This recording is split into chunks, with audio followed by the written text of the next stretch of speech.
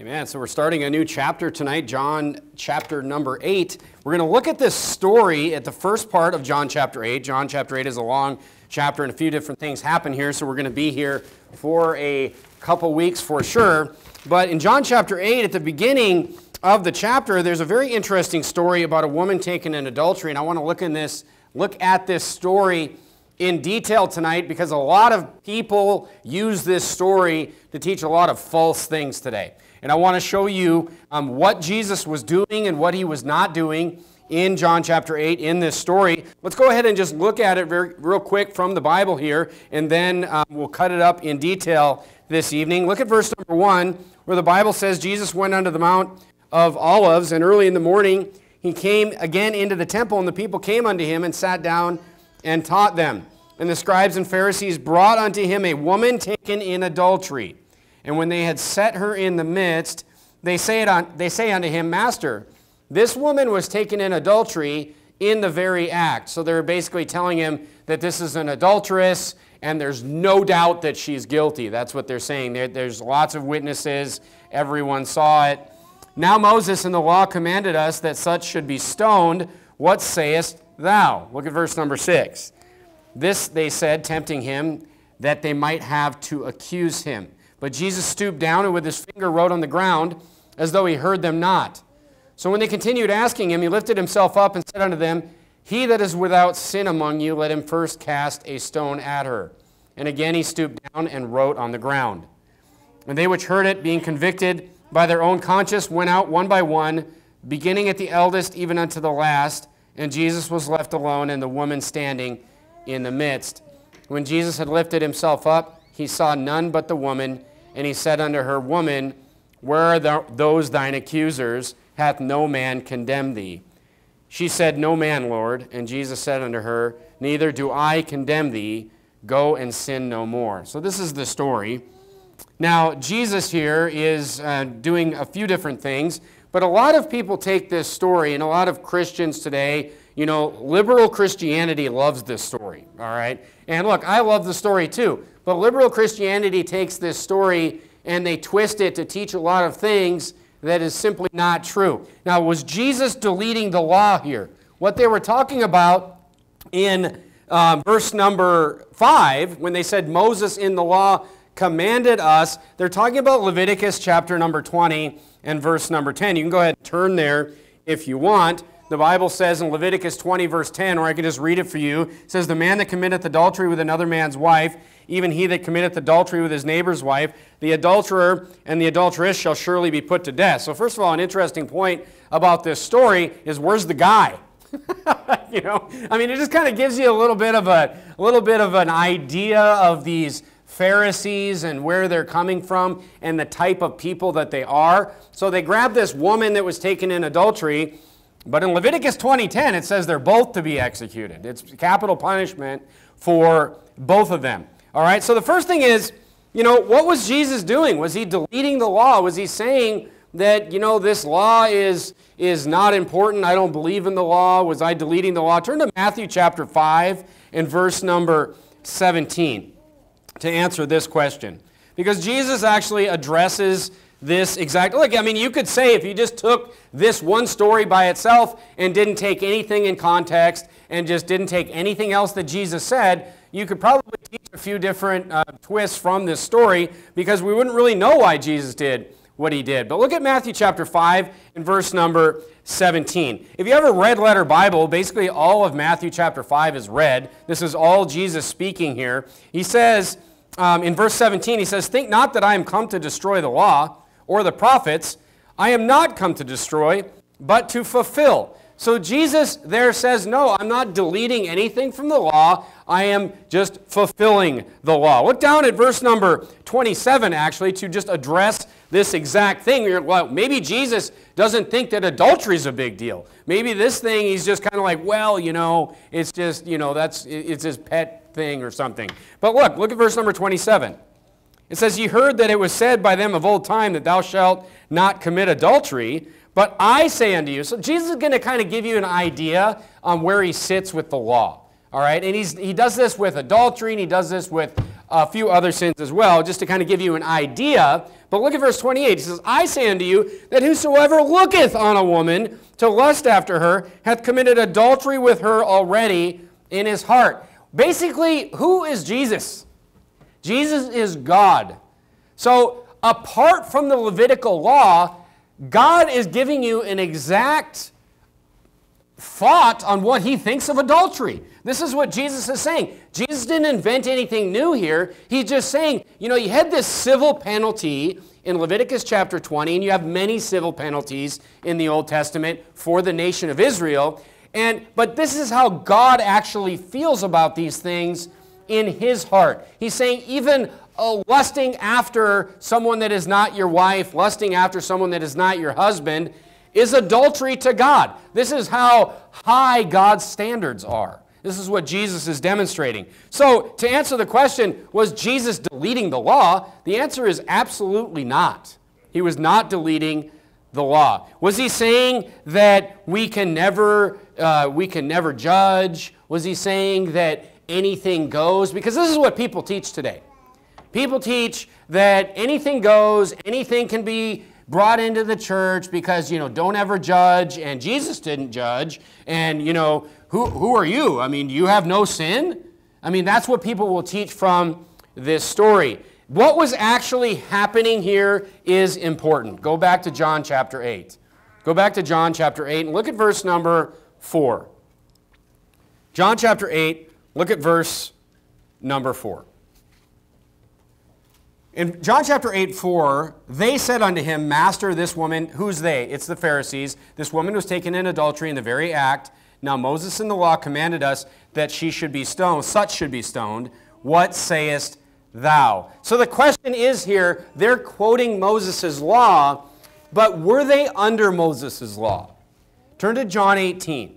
Turn to John chapter number 18. The Pharisees, this is just another one of their little tricks that they're trying to play on God, and they're trying to catch Jesus doing something wrong so they have something to accuse him of. So they quote, uh, you know, they quote Moses' law. They're quoting what I just read to you in Leviticus 20:10 that, you know, adultery receives capital punishment as many sins re receive capital punishment in the Old Testament. Look at John chapter 18 though. The question is, were they under, were Jesus and the Pharisees and the people living at that time in that place were they under Moses' law. Look at John 18, verse 31. Now we get some irony to the story here. And then Pilate said unto them, This is when the Jews bring Jesus to Pilate, and they want Pilate to kill him.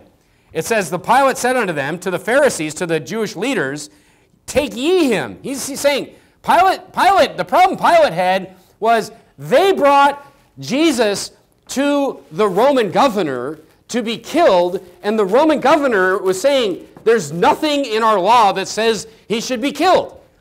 It, it's just, it was complete, it was a complete disconnect because there was nothing that he had done in the Roman law to be executed. Now look at verse, um, the rest of the verse. It says, The Jews therefore said unto him, It is not lawful for us to put any man to death. So here's what's interesting. Here's what's interesting. What they're trying to trick Jesus into in John chapter 8 is exactly what they did to Jesus in John chapter 18.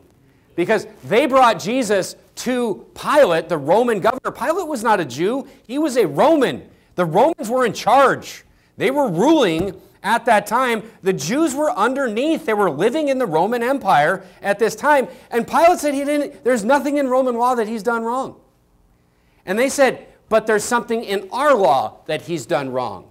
So, what the Jews wanted to do is, even though there was nothing in the, the law of the land that Jesus had done to, to warrant death, they wanted Pilate to adopt Moses' law temporarily and just kill Jesus because he violated something in their law. Do you think Pilate or the Romans cared what the Jewish laws were? They could care less. The only reason Pilate did it was because of political pressure. That's it. He did it because he was a coward and he didn't want an uprising. He didn't want to hurt his position in this empire because the Jews threatened him with, you know, losing control of things. Look at verse 32 of John 18. That, that, the saying of Jesus might be fulfilled which he spake, signifying what death he should die. Then Pilate entered into the judgment hall again and called Jesus and said unto him, Art thou the king of the Jews? So again, it's ironic how they what they did to Jesus according to what they're doing in John chapter 8, trying to catch Jesus. So what they're trying to do is they're trying to get Jesus to adopt Moses' law when that's exactly what they, they got Pilate to do. But they weren't under Moses' law at this time. They were under Roman rule. Go back to John chapter 8 and verse number 6. So that's the context of the story here is they are trying to catch Jesus. They could care less about this lady. They're trying to trick him so they can go to the Romans and say, this guy executed somebody and he's, he's a murderer. That's, that's what they were doing. So they weren't they were not interested in any kind of justice at all. They're just trying to kill Jesus, is all they're trying to do. Look at verse number 6 of John chapter 8. The next question in the story is so Jesus wasn't deleting the law. Jesus was simply, you know, smarter than these men that were trying to trick him. And I'm going to explain to you really why Jesus did what he did as kind of the main point of the sermon. But here's another question people will ask about this story, and people just make things up about this. What did he write? A lot of people will do like long, you know, things where they're, here's what Jesus wrote, all right? Here's what he wrote on the ground. But, you know, we can just infer probably what he wrote, but ultimately we don't know the words that he wrote because the Bible does not tell us this, all right? Look at verse number six. It says, This they said, tempting him that they might have to accuse him. So they're trying to trick him, they're trying to catch him. Look, they try to catch Jesus on everything. They try to catch him on the Sabbath day, as we've already learned. They try to, they even try to catch him on taxes. They try to, you know, go to the government and say, this guy's not paying his taxes, get him. They try to get him like, you know, Al Capone or whatever. Look at verse number seven. So when they continued asking him, he lifted himself, lifted up himself and said unto them, no, I'm sorry, uh, back to verse 6. But Jesus stooped down and with his finger wrote on the ground, as though he heard them not. So they're trying to get him to say that she should be executed, and he just starts writing on the ground. And they continued to ask him. He lifted himself up and said unto them, He that is without sin among you, let him first cast a stone at her. So, what he's kind of trying to say here is he's, he's accusing them of what he's accused them of many times before and will accuse them many times in the future. He's accusing them of being hypocrites. He's accusing them of committing the same sins that they judge people for. That's the definition of a hypocrite. Look at verse 8. And again he stooped down and wrote on the ground. And when they heard it, look at this. Being convicted by their own conscience, went out one by one, beginning at the eldest, even unto the last, and Jesus was left alone, and the woman standing in the midst. So look, we can, we can kind of make some inferences here on what he wrote on the ground. All right, so what we know is that they were accusing this woman, and then Jesus calls them hypocrites. He basically accuses them of hypocrisy, and then he starts writing on the ground, and he starts writing something on the ground that causes them to be convicted personally. I mean, it was a personal conviction that each one of these people felt, and they started to leave, again, what, they started to leave one by one so it was a personal conviction that each of them was having. I mean, imagine, and then they left what? They left from the oldest to the youngest. That's also interesting. So here's my thoughts on this, just inferring what happened here. Jesus is writing something specific on the ground relating to the individuals that are accusing this woman. He's writing something specific that has to do with their hypocrisy in the situation. And they turn around and they leave, meaning they probably don't want him writing anymore. You know, even the oldest ones, the oldest, most stubborn ones that are probably the leaders of this charge, leave first. So, first of all, the oldest ones probably have the most baggage, I would think. And second of all, it must have been something in my mind very specific that they literally just left. They're just like, I don't want to be part of this anymore and, they, they left. So my thought is that he's writing something specifically that they've done in this type of category. In, you know, whether it be adultery itself or some other kind of immoral situation that these accusers have been involved in, and he writes it down on the ground, and one by one, from the oldest to the youngest, you know, they leave. And pretty soon, no one is left. Turn to Matthew chapter 7. So is Jesus saying, is Jesus saying, don't ever judge. We should never judge. Because that's what Christians today will take this story and they will, they will just run with it and say you should never judge somebody. Meaning, if somebody that you know is in fornication or they're doing some horrible sin, don't ever judge. You can never say anything about it. That's what, that's what they teach using this story. Right? Well, the woman taking adultery, don't judge. I mean, they'll, they'll take that and use it for this. But look at Matthew chapter 7 and verse number 1. So again, you have to just not read any other part of the Bible, not read any other words that Jesus said, and just take this one story. You have to take the story out of context too, and just run with it in whatever direction that you want. But look at Matthew 7 and verse number 1. It says, Judge not that ye be not judged. So what is that saying there?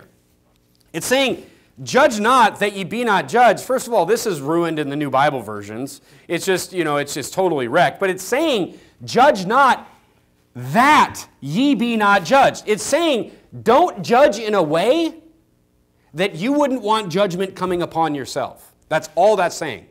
So it's saying if you're going to pass judgment, you better be sure that you can handle that kind of judgment. Was that the case with the, with the men that brought the woman in adultery? Apparently not. Apparently not. Apparently, when that judgment, that same type of judgment was put on them, they're like, oh, I guess I, am going to get stoned too. They, they didn't judge in a way that they could handle being judged. You say, how do I know that that's what that means? Well, first of all, that's what it says. I don't really even need any other verses, but Jesus explains it in the next five verses. For with what judgment ye judge, ye shall be judged. You see, this isn't that complicated. He literally says the, the first, the, the, he says it once in verse number one, and he, he says it in a more clear way in verse number two. It says, What measure ye meet, it shall be measured to you again. Look, the same, the same methodology that applies to judgment applies to mercy. I mean, this isn't that hard. I mean, the Christianity, the Bible, is not that difficult. If you want a lot of mercy in your life, if you want mercy from your Heavenly Father, you should be merciful to people around you. If you want to be judge, judgmental in a situation, look, you know, some people need to be judged. Some people need someone, some child or teenager that is falling into sin and ready to fall off the cliff in his or her life, you know what? They need somebody to come up and call them out and judge them. But they don't need somebody to call them out and come up to them and, and judge them for alcohol and drug use who's a drunk and a drug addict. That's what they don't need. That's what can't happen. And that's all the Bible is teaching here. The Bible's teaching what? Don't be a hypocrite. Why not be a hypocrite, though? I mean, whatever. I mean, being a hypocrite's fun. I can be in sin and then I can go around and judge all kinds of people. I mean, I get the best of both worlds. I don't have to, I don't have to put anything off myself. You can't be a hypocrite because number one, it doesn't work. And number two, you won't be profitable to anybody. Try to be a hypocrite as a parent and let me know how that works out for you. Let me know how well your children obey you and how your children follow you and do what you say when you open up the Bible and try to teach them when you're living a hypocritical life and you don't read the Bible yourself, you never go to church yourself, you care less about the Lord. Oh, you're saved. You're saved, but you don't do anything spiritual. You could care less about serving the Lord with your life, and then you try to tell your kids that's what you need to be doing. It, it's not going to work. That's, right. that's why the Bible is saying, don't be a hypocrite. That's why Jesus is, again, hypocrites, hypocrites, hypocrites to the Pharisees. Because it ruins everything. If you're a hypocritical Christian, you will profit no one. This is why it's so important for Christians to not be hypocrites. Look, the Pharisees, these people aren't saved. But Christians can be hypocrites just the same as unsaved people can. Look at verse number three if you need more. And why beholdest the mote in thy brother's eye? Now he gives you an analogy. So he tells you the same thing two verses in a row, and then he gives you an analogy. Why beholdest the mote that's in thy brother's eye, this little sliver in his eye, but considerest not the beam that is in thine own eye? He says, You're not going to help anybody. You try to go get somebody, solve a small problem for somebody when you got a huge problem yourself, they're going to laugh in your face. And guess what? As a hypocritical Christian, you know who the, the number one people that will laugh in your face are? Unsaved people. You go out and you just destroy your testimony. You're not going to be unsaved, but you're going to make a joke of yourself Mainly to unsaved people. And that, I mean, you know, the profit that they need to see from you, they need to see your testimony. They need to see your life. They need to see the difference between your family, your marriage, your children, and what they're doing. That's what they need to see to be pointed towards possibly seeking out the truth in their life. Or will thou say to thy brother, Let me pull the mote out of thine eye, and behold, a beam is in thine own eye? Thou what? Thou hypocrite. It's all about hypocrisy, folks. That's exactly what Jesus was saying to these Pharisees. He's saying, don't be a hypocrite. In John 7 24, we just studied this. Jesus literally said, judge righteous judgment. So judging is important. Look, people need it. People that depend on you need judgment. You need judgment.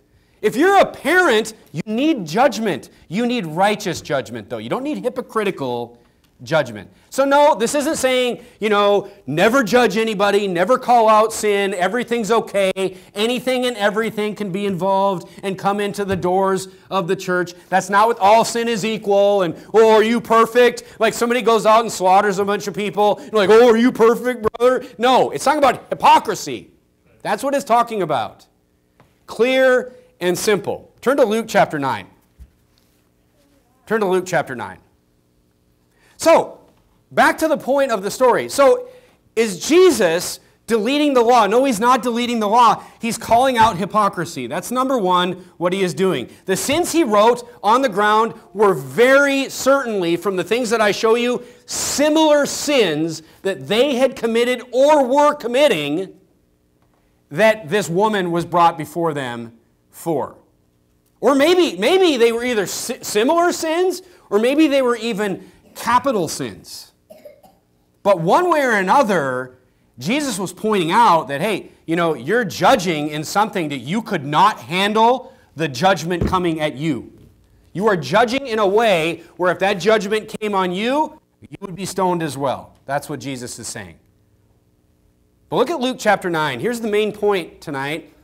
So, why? I mean, did, doesn't Jesus agree, though, with Leviticus chapter 20 in verse number 10? You know, what's the deal there? Look at Luke chapter 9 and verse number 52. Let me show you this from the Bible, and this is kind of the main, uh, kind of the, the driving point tonight. And I want to show you how just this applies, how Jesus' time and the time that he was living in, it's almost scary how, how, how it applies to us today.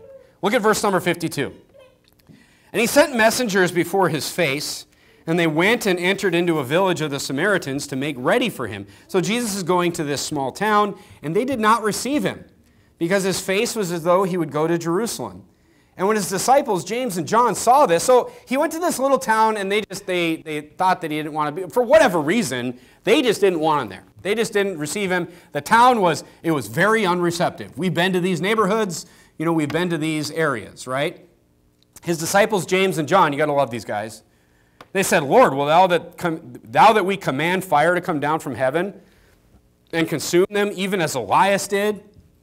They're, they're just like, Jesus, let's just, let us just burn this town up. It's like we go and we knock doors and we knock like 100 doors and, and you get into a neighborhood and if people are just, it's, it's rare, but I mean, you know, people are just unreceptive and you're just like, you get in the car and you're just like, can we just burn this place up? Just, can God just rain fire down on this, you know, on this, these track homes or whatever? That would not be correct to think that way, all right? Look at verse 55. But he turned and rebuked them. Jesus rebuked them. So, I mean, look, it's coming from a good place. They want people to receive Jesus. But Jesus kind of like rebukes them and he says, You know not what manner, you know not what manner of spirit ye are of.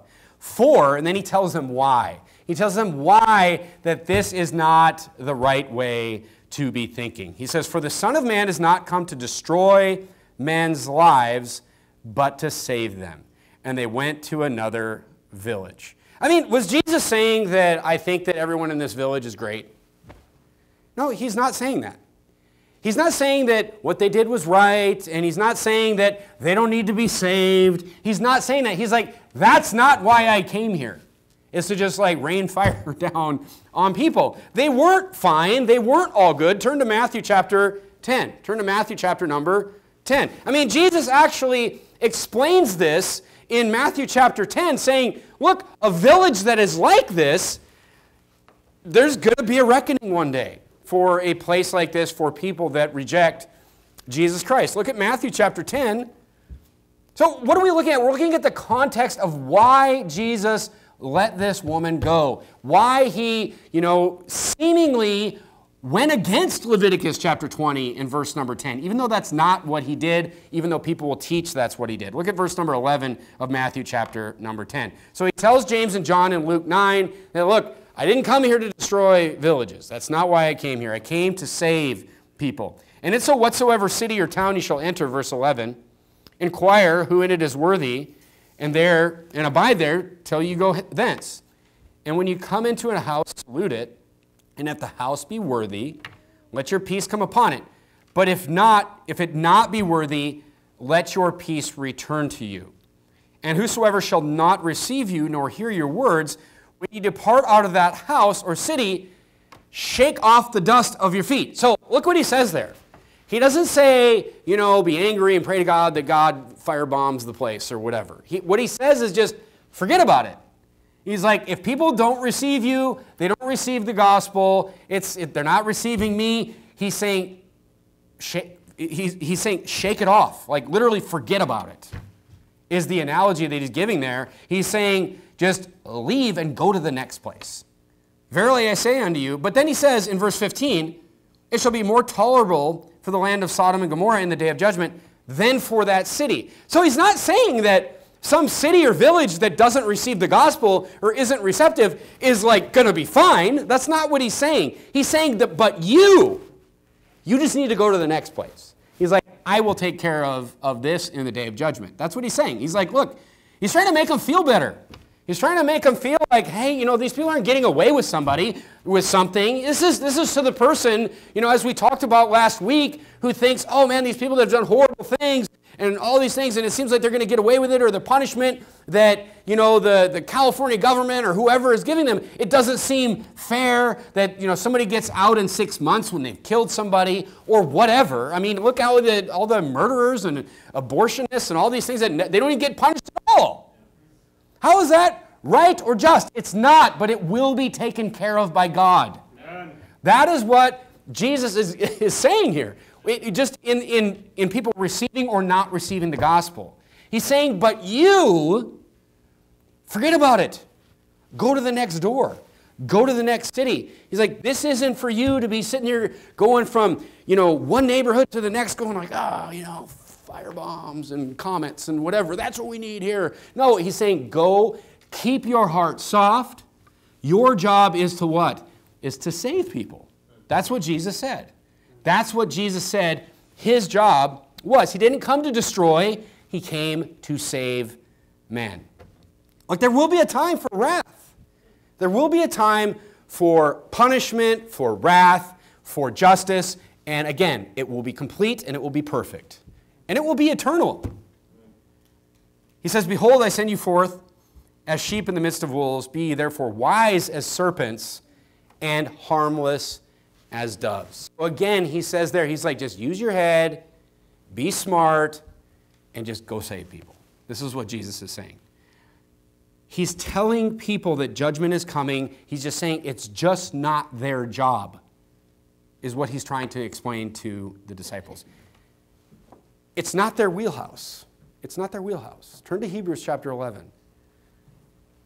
So, this is, this is the lesson. This is the lesson of this story with the woman taken in adultery and what Jesus was really doing. Now, the irony of Jesus' time is this. You say, well, why doesn't Jesus, you know, like want to enforce Moses' law? Why didn't he want to stick to Leviticus 20:10? Because look, that's not what he was there to do. That's not what he was there to do. And number and the second thing is that's not the law that they were under. And it doesn't matter. See, it's kind of nice to know. It's kind of nice to know that it doesn't matter what law we're under. Isn't, isn't that kind of nice? Because are all the laws good today? No, they're not. Are all the laws just today? No, they're not. But it's kind of nice to know that it's all going to be taken care of. And that's what Jesus, I mean, how many times, what, how many times have I read it to you? God's going to take care of this stuff. Vengeance is mine. You know, I'll take care of these cities. I'll take care of all these things. If, you know, that's not for you, though. Now, the irony of Jesus' time is this, though. The irony of Jesus' time versus our time. I mean, I think about this a lot. You think about the, the time Jesus is living in, and the time the disciples are living in, and the time that we were living in. Look, they were ruled by the Romans. They were ruled by the Romans. I can't tell you how many intellectual people have compared the United States of America to the Roman Empire. And you say, well, how, why is that? It, well, because we're following exactly the same patterns as them. In many ways, we were founded on you know, the same structure in many ways, and we're following the exact same patterns as we slide down the hill. But look, they're ruled by the Romans at this time. This society that Jesus was in, you need to think about this for a second. The society that Jesus was in, this Roman society that he was living in, that he had, I, I understand that in the Gospels and even in the book of Acts, we don't hear a lot about the Romans. We hear about the Jews after Jesus, and they're constantly just being persecuted by the Jews, by the Jews, by the Jews in the Gospels and the book of Acts. It's all the Jews. And look, the Romans took over slightly, you know, right after you know 70 AD. The Romans took over, but that's not in the Bible. It's in other books though, and it's really, really bad. But the point is, even during Jesus' time, they're being ruled by the Romans. Go read up on the Roman Empire when Jesus was walking around with the disciples. It was insane. It was immorality like you would not, you could not even imagine. It was, I mean, I like to, um, I kind of have like a, like a semi, not, not serious, but I, I have a, I have like a coin collecting uh, streak in me where I like to, I like to collect. One of my favorite things to do is I like to collect coins from like historical periods. I like to collect coins from like, you know, this like Civil War and things like this. And one of the, my favorite things about it is like some of them you'll get like, you know, you got like, you know, coins of like, you know, the, the generals on both sides. And like they're coins from actually that time. And they show like the, the likeness of the generals and things like that. And I think that's really interesting and, and really neat. But you know what? You can actually collect Roman coins too. You can actually collect Roman coins with the Roman Empire, Roman emperors with their, their face on the coins. You can, you can buy these coins even today. You can get these coins.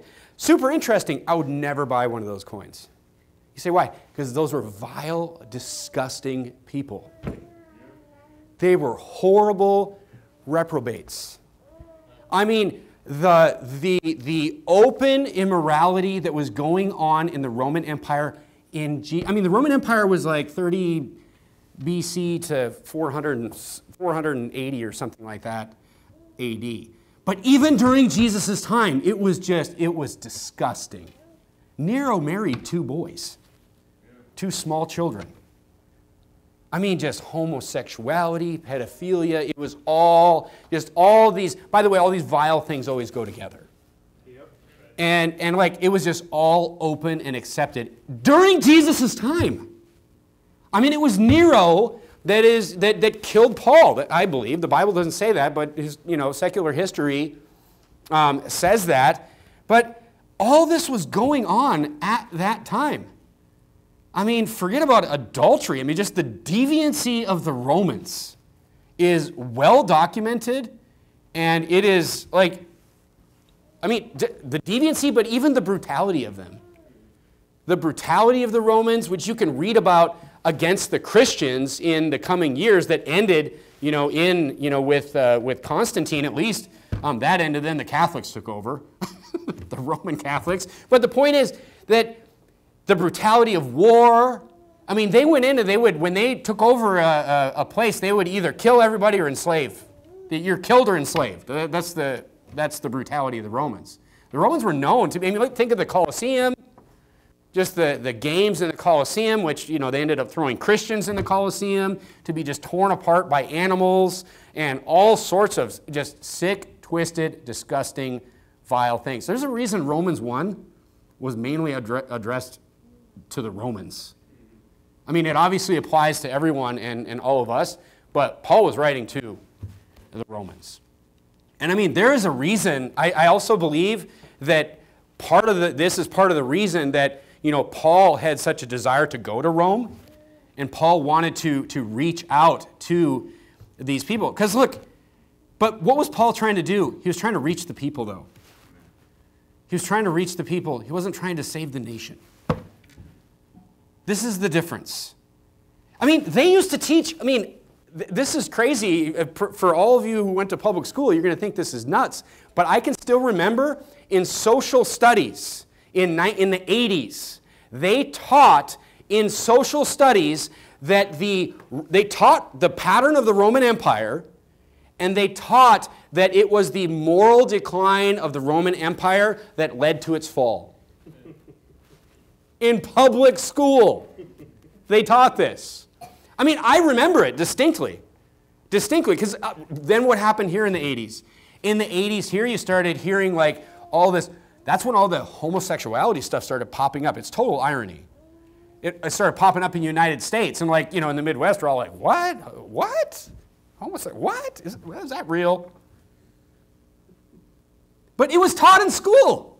It was so well known that it was taught in school as one of the main causes of, the of, of, of a falling empire. And if not even a cause, but something to see that the empire is falling as, as immorality comes forward. Are you in Hebrews chapter 11? Are you in Hebrews chapter 11? So, as we look at the Romans and we see that immorality precedes the fall of an empire, the point is, Jesus was walking around in this. Jesus was walking around in this. Look at verse number 13. Talking about, this is the faith chapter, talking about all these great men and women of faith. It says, These all died in faith, not having received the promises, but having seen them afar off. Some people, some Christians, they spent their whole Christian lives just waiting for the promise, and the promise they got was when they got to heaven. I mean, I don't think any of us can say that. You know, we're receiving, you know, rewards. We're seeing profit when we go out and just preach the gospel and get somebody saved. But these, having not received the promises, but having seen them afar off and were persuaded of them and embraced them and confessed that they were what? They were strangers and pilgrims on the earth. It has always been this way for the Christian, and we need to remind ourselves of this. They're strangers. The Christian has always been a stranger and a pilgrim in whatever land that they are in. Jesus was a stranger and a pilgrim in the Roman Empire. The disciples were strangers and pilgrims in the Roman Empire. And look, we need to remind ourselves of this. Look, so do I, many times. I was telling some of the guys talking uh, just the other day, Sunday, I was like, I remind myself of this all the time. This is what I meant when I said that. Because, you know, we kind of identify, like, I'm an American. We're Americans. We kind of identify as that. But see, that can do great damage to us if we start identifying like that. And look, I, I came from, you know, the, the, the upper Midwest. I mean, it's, it's, um, it's red-blooded Americans there. You know, it's, there's no liberals there. No, no real ones anyway. But it's like Americans. But the thing you have to understand is like, what is that? If, if you identify as just like, we're Americans and all this, eh, you know, just like Jesus was in the Roman Empire, Jesus didn't identify as a Roman. And if we identify as Americans, can you tell me what that even means today? What does that mean? I identify as American. That means I'm either a devil worshiper or a Bible believing Christian and anything in between. Think about that. There was a story over Christmas about the Iowa, Iowa, Iowa, Iowa, where they have corn and farmers and good people. They had a satanic statue of Satan in the state capitol. This is the Enlightenment for you right here. This is the Enlightenment think, oh, the Enlightenment was great. Rousseau, yay. John Locke, yay. Natural rights and all this kind of stuff. That's what it leads to. Because if there is no absolute truth, the statue of Satan is just as allowed as the Ten Commandments. If there's no absolute truth and we're all, it, it, this is the problem with the Enlightenment. But anyway, some Christian goes in there and chops the head off of Satan. it's this big news story. The guy goes in there. I don't know what happened or if they had it on video, but he tackles the thing and it's mangled. They can't repair it, I guess. And You know, now you got the Satanists. They're all the Satanists are all like, well, you know, we're we're peaceful. So we're going to just, he's being prosecuted, and, you know, certain conservative organizations are supporting him and giving him money, and, you know, he, he beheaded Satan, you know, and all this. And, and, and the thing is, like, the Satanists, though, they're like, see, we're just going to use the, the law. We're going to use the law, and we're just going to prosecute this the peaceful, proper way. Not like these crazy Christians who are jumping on statues and chopping their heads off, you know? But you, you, you see the problem here? Is the problem the statue of Satan? How did that get there? Iowa! It's a Republican governor. And the whole legislature is Republican. These are conservative people. The only ones that are actually what you would call Democrat is because they're farmers. And Democratic farmers are still good people. They're just Democrats because the government gives more, the Democrats give more money to farmers. That's politics in the Midwest for you right there. But the point is, Republicans control Iowa. How in the world did a, a statue of Satan get in the Capitol building? Has something gone wrong with red blooded Americans today? Has something gone wrong with conservatives today? What does it mean to be an American today? What, are the, what, what values, what values are, are, are that? What values identify you as American today? Well, they aren't mine. That's what I know. They aren't my family's. That's what I know. I mean, the point is, we are here to save who we can. Amen. We are not here to change the corrupt system. Amen. I mean, the irony is this, though. The irony is this. How did that satanic statue get there? The satanic statue got there because some politician allowed it to be there. And some politician, well, he's Republican or whatever, you know, they, the Republicans control that state. So the Republicans allowed the statue of Satan to be put in the Iowa state capitol. But who elected the politicians? Now, here's the irony of the whole thing. The irony of the whole thing is this the people of that state elected those corrupt, wicked cowards. And I don't care what the name, what the R, the R or D behind their name, it doesn't make any difference. When they're running the show and they got a statue of Satan in their office, which is, that's what that is, it's their office, the people's office, they're, they're representing the people of that state bowing to Satan, is what they're doing. And that's what they did. And guess what? The people elected them. The problem is the people. Amen. That's the irony of the whole thing. Jesus wasn't trying to go out and save the Roman Empire from destruction. But guess what? And, I, and, we're not trying to, you know, change the political system in America. But guess what? If we were, you know what the best way to do it would, would be? One person at a time. That's right. Going out there and finding these people that claim to be conservatives claim to be Christians and showing them what the Bible actually says. Amen. That's right. That's the problem today. The problem is the individual. Amen. And this is what Jesus was talking about. It's not about what government we're under. It matters not what government we're under. Because if we can fix and save the individual and convince the individual, hey, God wants to save you. God wants to give you eternal life. It's free. All these other religions that are teaching you you have to work for it is a lie. Here's what the Bible says. And by the way, now that you're saved, here's what the Bible says about your family. Here's what the Bible says about your marriage. Here's what the Bible says about your children. Here's what the Bible says that you can achieve even in this corrupt world around you. One person at a time.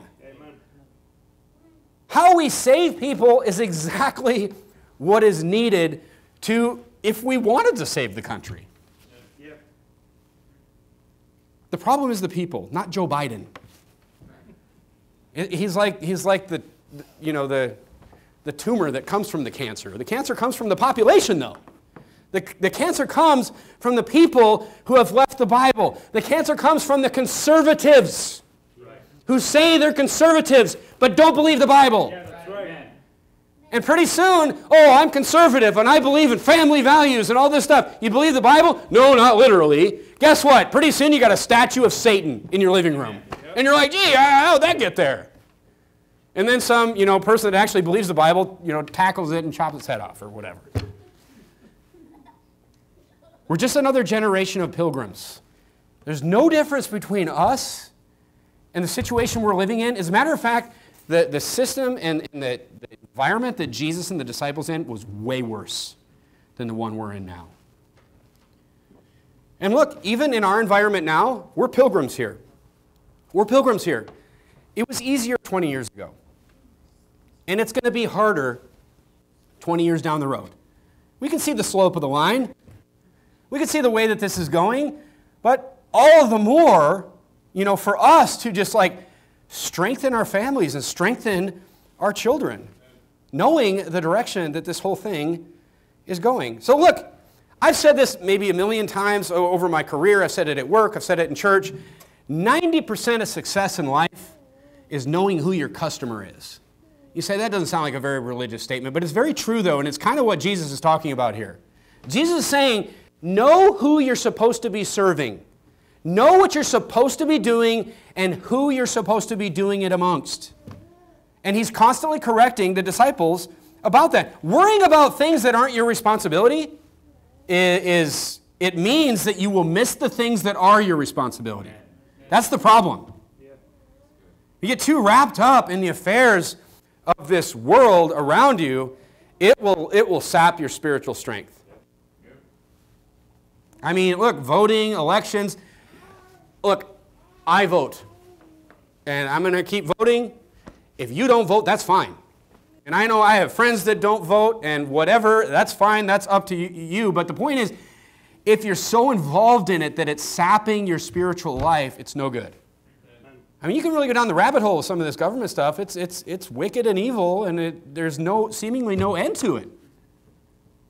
If you can't pay attention to it without it upsetting you, just, just pull back from it and, and take it in, you know, take it in, that's what I do. I take it in measured doses. but Look, because here's the thing like your family, your family is your wheelhouse. I mean, your job that you support your family with, that is your wheelhouse. Your responsibilities as a Christian, that is your wheelhouse. If you get so obsessed with what's going on around, I mean, look, it's easy to do. I mean, I've literally met people, I've met several young people over the last few years, mostly since I've been in California. Um, I think of a few I met a few years ago, but some, they're so obsessed over some of the ills of government and all these things. And look, they probably weren't wrong, but they're so obsessed over all this stuff, but th- they literally didn't even work themselves. But they're just obsessed with all these other problems. I'm like, no, no, no, no, no. You got to like pull back from all that stuff and get out of that stuff. It's wrecking you. And, and just you got to you got to you got to get yourself together get in your, your wheelhouse and, and drive there. I mean, the best thing for your family is to focus on them. The best thing for your family is to strengthen them. This is why, you know, I mean, we should just be detached to a degree. And We should be detached to a degree, and, and as the world gets worse and worse, we should get better and better. I mean, as the world, as the world gets, gets dumber and dumber, we should get wiser and wiser. And look, this, this should be obvious to people. And look, it is obvious to people. It's obvious to normal, everyday people that as everything's falling off a cliff, the Christian has it together. The Bible believing Christian that's focused on the Bible and focused on his wheelhouse. I mean, as, as robots take over and everyone forgets how to do everything, we should get more and more skilled. I mean, as we should get more aware, we should get more moral. As, as, as more and more people get a reprobate mind, we should get a more sound mind. And then we're just going to stand out.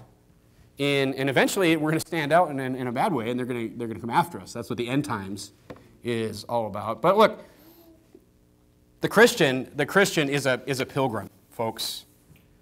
The Christian is a pilgrim. That's why there's so many words in the Bible like separate, like, like here's a good one, peculiar.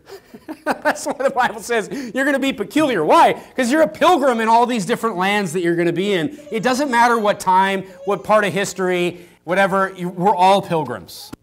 I mean, look at the Roman Empire and you think, look at the disciples. I mean, they were peculiar in that time, for sure. But look, that means blessed, that means valuable. So the point of the sermon is this Jesus was a stranger in the land. Jesus was a pilgrim in the land just as we are, the parallels are very striking. But the point is, the land is not our concern. Look, the dangers of the land are real, okay? The dangers of the land are real to our families, to our spiritual lives. We need to be, it's a big deal, and I do a lot of preaching about the dangers of the land, but all the same, we are pilgrims in it.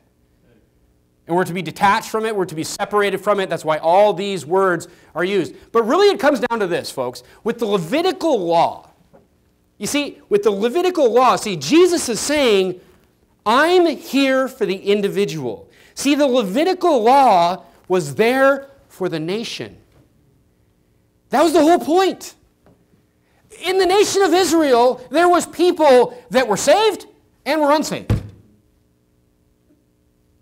The Levitical law itself was there for the survival of the nation. Look, we'd be smart.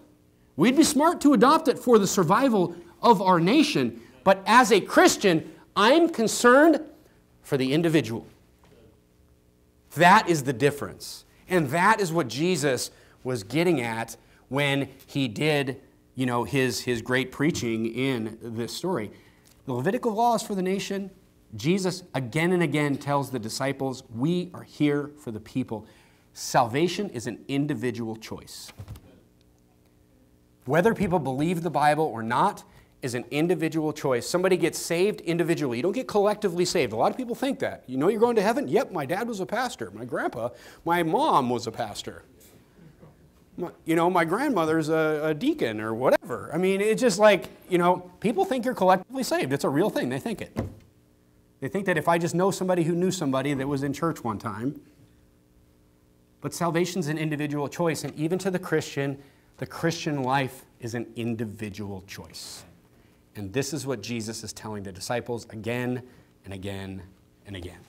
He had no interest in saving the Roman Empire by trying to just put the, the correct laws on them. He's there for the people. Let's bow our heads and have a word.